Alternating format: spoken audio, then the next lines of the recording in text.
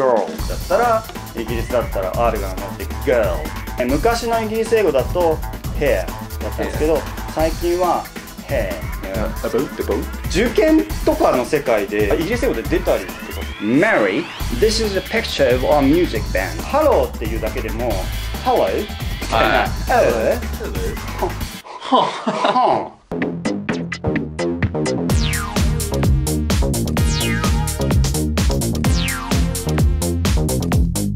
Hello there! 始まりました。もちチャンネルです。はい、今回は、どうも大二郎ですよろしくお願いしまはい、す大二郎さんにおいでいただきました。大二郎さんはですね、英語の発音 YouTuber としてですね、もう YouTuber としてすごい人気なんですが、まあ、あんまりやっぱりね、日本で British English を教えるというか、そうやってる人少なかったんですけど、そこに目をつけてですね、素晴らしい面白動画をいっぱい出してられるんですけど、どうですか？何がやっぱ違います？イギリス英語、アメリカ英語って。一番気になるのはやっぱ母音が全然違うっていうところですよね。僕の中で一番イギリスだなと思うのはやっぱ「おう」の音なんですよね。なんか例えば家の「ホーム」だったら、まあ、はいアメリカだったら普通になんか「ホーム」みたいな感じなんですけど、イギリスだったらちょっと「ホーム」ホーム「えい」「えい」ちょっとなんか鼻にかかったような。はいはいはい。ふん」「へい」みたいな感じになるというか。なるほど。そうですね「追う」とか「会う」とかはそうずれねますからね本当地域によって。全然違う。変わってくる。あそうだ。ということはカナダ英語もやったらいいじゃないですか？ああそうっすね。カナダでやったことないです「about about」あー確かに確かに。言いますね。っていうのが「追う」会うがやっぱりうん。面白いとこなんで出ました新しいネタ新しい新しいね。じゃあメモっときます。そうそう。追うあとやっぱ R がなくなるのは有名というかすね。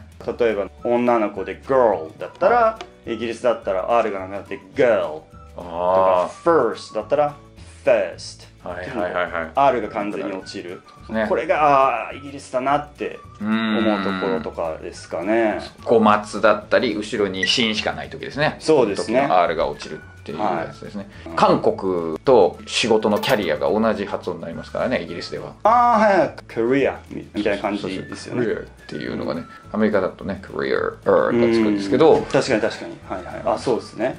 あとあのホット暑いのホットはその、あの音と。そうですね。アメリカのあ。アメリカだと hot になるんですけどイギリスだと hot っていう「お」と「あ」の違いとか。はもうこの3つだけでももうだいぶイギリスによるというか。なるほど。君も You can't speak British そうですね。できない。全然。全然できない。ちょっと棒読みでそうですねって言ってしまったんですけど。あ と一番最初に YouTuber っていうおっしゃったんですけど英語の発音 YouTuber として。まあイギリス的には YouTuber そうですね。チュ YouTuber ですね絶対ね。YouTuber チューと to の違いとか、はいはい。10と、ん。during とかが、ね。あそうですね。ジュー、ジューみたいな。ジェリングみたいな音になったりとか。音とかありますね、そういうの。そうですねでそれがまあメインなんですけどそれプラスなんかこうイントネーションというか、はまあもちろんイギリスでもたくさんあるんですけど「Hello」っていうだけでも「Hello」みたいな「Hello」. I go to the park とかだったら、I go to the park こう park I go to the park. Park. はんっていうのがアメリカではそういうのあんまないかなっていうか。あ、あとはあれじゃないですか。疑問文のはい。イントネーション。イエスの疑問文の。イギリスはそうですね。トゥトゥトゥトゥってなるやつ。Do you have any questions? みたいなそうそうそう。Do you have any questions? そうですね最後に、だけ、ふっそうですね Do you have any questions? って。Do you have any questions? みたいな。なんかね、その、ふやっていうことおわってなりますけどね、やっぱり。確かに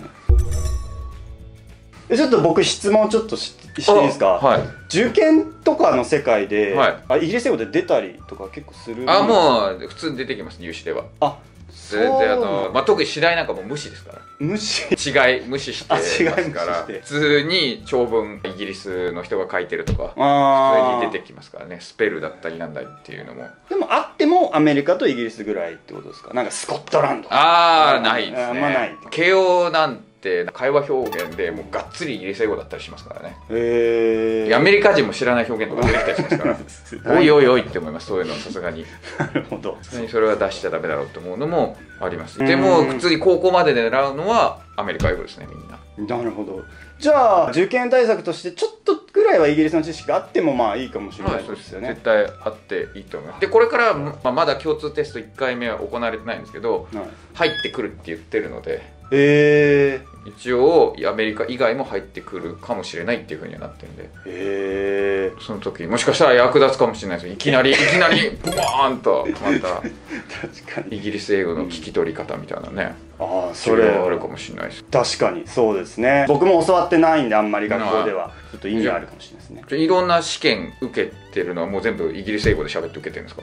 あああのそれはあのアメリカ英語でアメリカ英語で喋ってるんだ。アメリカ英語で試験 受ける時はなんかやっぱりアメリカ英語に明るい人たちがやっぱり多いっていうのと、アメリカ英語に慣れ親しんで英語を勉強してきてるので、イギリス英語はあくまでな特技的なお感じでやー特技っていますね、はい。特技使わないんですね。確かに。発音検定もじゃあイギリス英語で受けなかったんですね。アメリカ英語で。僕が真似してるイギリス英語っていうのはちょっとステレオティピカルなというか上流階級のポッシュなそうそう感じですね。ポッシュな感じなんで、はい。そういうところではあんま披露しない方がいいのかなとか思ったりとかボリス・ジョンソンそうですね。ボリス・ジョンソンとかまさに。動画でボリス・ジョンソンはこういう特徴がありますよとか。あいうのは説明したりしてます。Z って言ってましたもんねだって。そうそうですね。Z じゃあなな発音検定で Z って呼んだんですかじゃでも思いっきり Z って言いました。そこはアメリカあで。Z って言わなかったですね。音読もイギリス英語も。あもうゴリゴリアメリカで R を思いっきり巻いて FUR とかって言ってました。じゃあ簡単にできるイギリス英語講座みたいなのはやっぱりあ今のやつですか？今の3つ。そうですね。この3つやっぱ基礎の基礎というか一番入りやすいし簡単で身につければなんかもうすぐちょっとイギリスっぽくなるなるほど。感じですね。じゃあちょっとイギリスっぽく何か読んでもらえますか？じゃあ。高校入試。へえせっかくだから北海道あるかな？あ北海道北海道ありますね Mary, this is a picture of our music band. We played some songs at the school festival this year. It was a wonderful time for us. You look excited, Subasa. Who is the student playing the guitar next to you? Here's Ryosuke. He plays the guitar well. And the other student playing the guitar is Taro. I see. The student playing the drums is Takuya, right?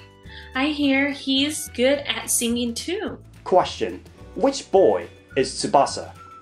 わあスチュー。デントってやっぱスチューデントとかねそうなんですよね。こちらになりますね。スチューデントそうですねイギリス。まあ日本人スチューデントって言ってますけどね。そうですね。スチューデントね。あさっきの YouTube と同じですもんね。なんか癖で YouTuber とかって言うとなんか結構いろんな人になんでって突っ込まれる。ああ、そういうことか。そうですね。日本は YouTuber ギター。あギターも違いますねじゃあ。ギター。ギター R って R ってつくか。Here も変わりますもんね。昔のイギリス英語だと hair だったんですけど、最近は hair になってきてへえます。そうなんですね、はい。ボリス・ジョンソンとかはトラディショナルなんで、は hair とか、うん。なんか poor みたいな、うん。Poor とか air とかなんですけど、最近は hair とか、へあえへえ poor とかそういうアメリカ英語の手話の発音が変わる感じですね。そうですね、しなんか sure みたいになる感じ Sure ですね。とか Sure ってうん。Sure そうですね。っていう人が結構ね最近増えてきてますけど。へえそういうのも。いやいろいろ分析してるんですね。Band ああの音も違いますね。確かに。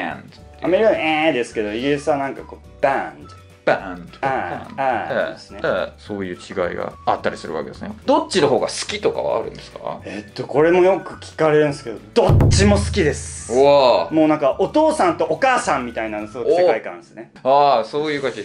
Both of them ですねそうですね。both of them。Both of them 難しい。じゃあこれからどんな感じでやっていきます？いやーちょっとまあ人生で初めてバズるというか、はいはいはい。結構再生回数も上がってきてるんで、ちょっといけるとこまでこの発音コントみたいのでうん。ちょっと行きたいですね、ネタもいっぱいありますからいねやネタあります。あの YouTube 見てるだけですぐネタがたまる。ん で絶対そうだと思いますね。そこのまあまだ全然こういくと思うんで。頭打ちになった時とか大変ですよねでもね。確かに。その時はまあまあ YouTuber みんな経験しますからね。